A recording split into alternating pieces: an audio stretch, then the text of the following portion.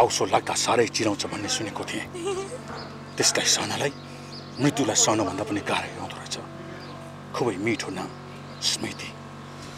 यो मिठो नाम एउटा तितो सम्झना भएर बस्नेछ।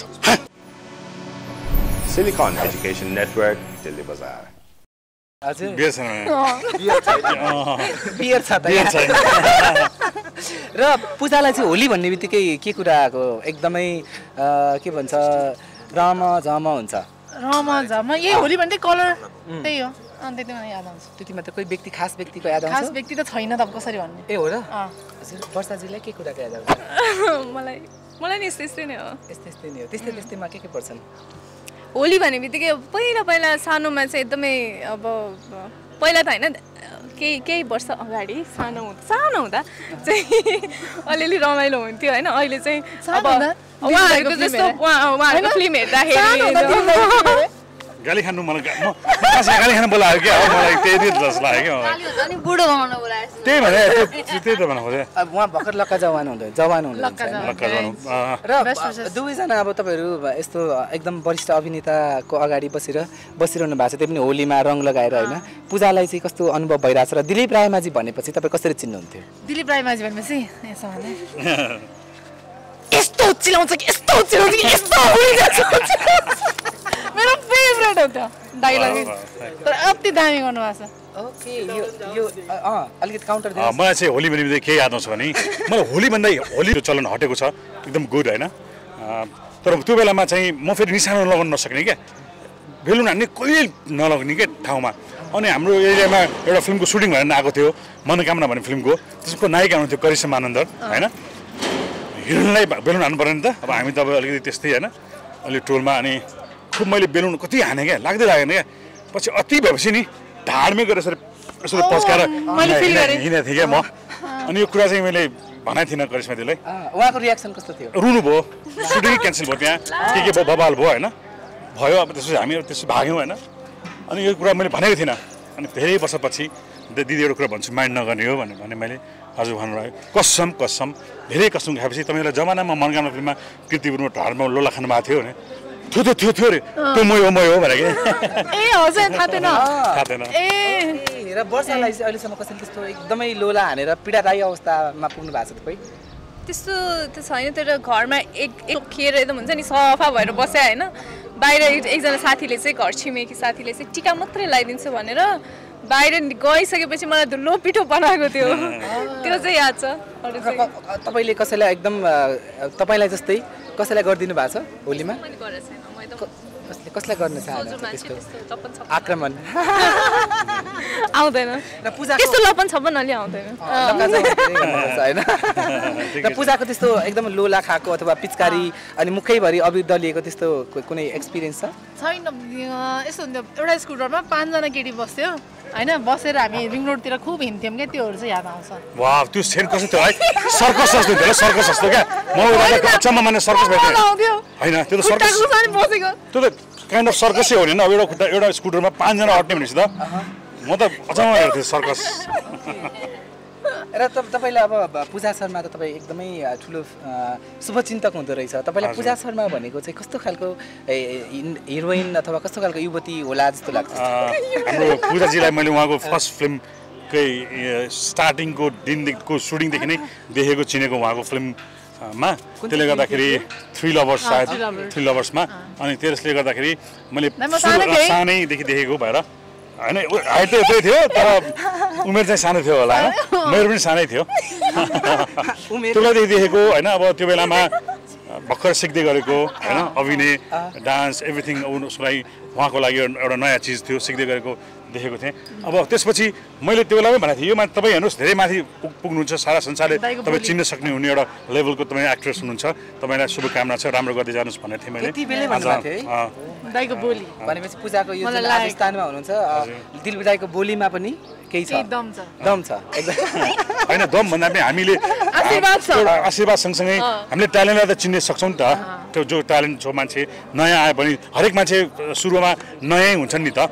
तर चाहिँ देखिन्छ नि त हुने बिरुवाको चिल्लो पात भनेको जस्तो त्यो एउटा चिल्लो पात चिल्ली चाहिँ पात देखाएको थिएँ क्या त्यो बेलामा मैले। अब वर्षा शिवाकोटीसँग त स्क्रिनै सेयर गरिसक्नु भयो छ। उहाँको जुन स्वभाव काम होइन। वास्तवमा उहाँलाई चाहिँ मैले योभन्दा पहिला चाहिँ स्क्रिनमै देखेर मै भनौँ बढी नै चिने मैले।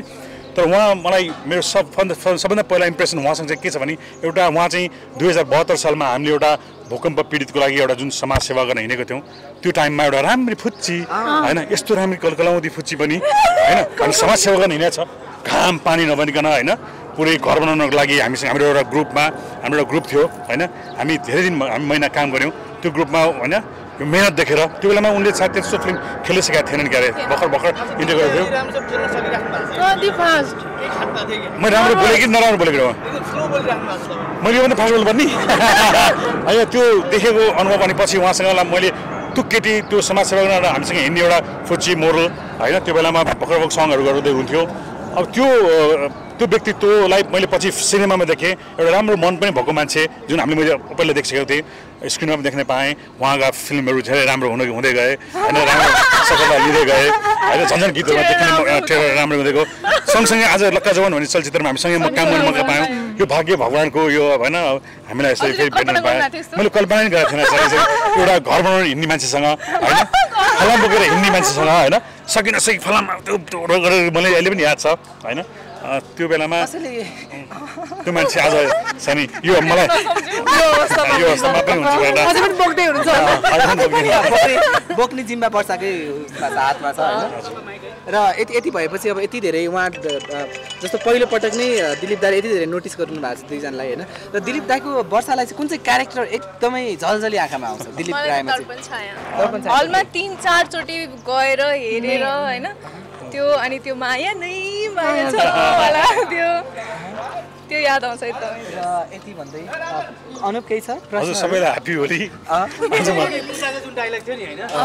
कति कम्प्लिट भयो होइन? होइन। अँ। त्यो जान चाहन्छु। अ, दुईजना अब एकचोटि त्यसमा को हुनुहुन्थ्यो नायिकाको रूपमा। निरुता दिदी हुनुहुन्छ र यतापट्टि हुनुहुन्छ दिलीप रायमा चाहिँ दाई यी दर्पण छाया थियो। केटीले के भन्छ? अनि केही पनि बोल्दैन। अनि? हाँस्छ मात्रै होइन त के हुन्छ भन्नु न होइन हो केटीको डायलग भनिदिन्छ त मलाई पनि राम्रो मान्छेले नमिठो बोलेको मन पर्दैन भन्ने यस्तै छ के छ होइन हजुरले होइन। यसो भन्ने अँ, त्यो त अगाडिको अँ, हो। त्यो त्यो बेलामा केटीको डाइलेक्टै छैन डाइरेक्ट छैन क्या अँ, direct छैन। यत्तिकै निहुरेर बसेको हुन्छ क्या डिङडिङले क्या म्युजिक क्या हेभी आउँछ होइन अनि दाइ आउनुहुन्छ टाउसो लाग्दा साह्रै चिराउँछ भन्ने सुनेको थिएँ त्यसलाई सहनलाई मृत्युलाई सहनुभन्दा पनि गाह्रै रहेछ खुबै मिठो नाम। स्मृति। यो मिठो नाम। एउटा तितो सम्झना भएर बस्नेछ। हाँ, सुने क्या? हामी त हामी त कलेजको केटीहरू। थ्याङ्क यू सो मच र. च्यानलबाट भएको छ सम्पूर्णलाई ह्याप्पी होली तर्फबाट। हाम्रो त- हाम्रो तर्फबाट। हजुर सबैलाई happy Holi happy Holi happy Holi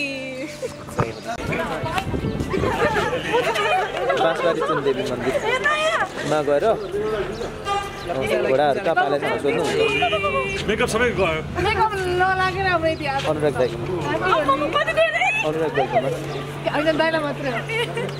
र यो होली तपाईँहरू दुई तिनजनालाई कतिको लागिरहेको छ? एकदम लागिरहेछ ह्याप्पी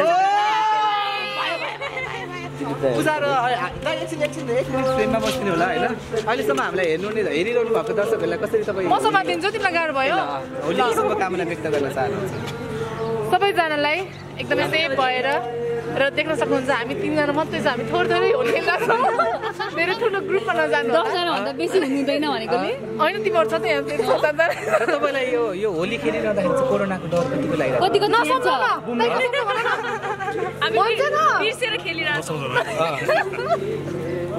कतिको भन्नुहोस् त हजुर कतिको कतिको डर डर कतिको लागिरहेको थियो डर छैन डर होला डर कि आगे उता उता पछाडि। ओके दिलीपजीलाई कतिको कोरोनाको थ्रेट छ? वास्तव मलाई डर लागेको थिएन. उनीहरू डरा देखेर मलाई पनि डर लाग्यो।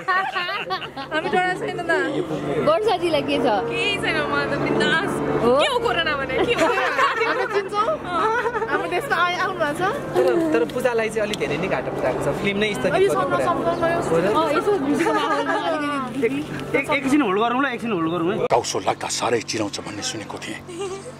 त्यसलाई सहनलाई मृत्युलाई सहनुभन्दा पनि गाह्रै हुँदो रहेछ। खुबै मिठो नाम स्मृति। यो मिठो नाम एउटा तितो सम्झना भएर बस्नेछ टाउसो लाग्दा साह्रै चिराउँछ भन्ने सुनेको थिएँ। त्यसलाई सहनलाई मृत्युलाई सहनुभन्दा पनि गाह्रै हुँदो रहेछ। खुबै मिठो नाम स्मृति। यो मिठो नाम एउटा तितो सम्झना भएर बस्नेछ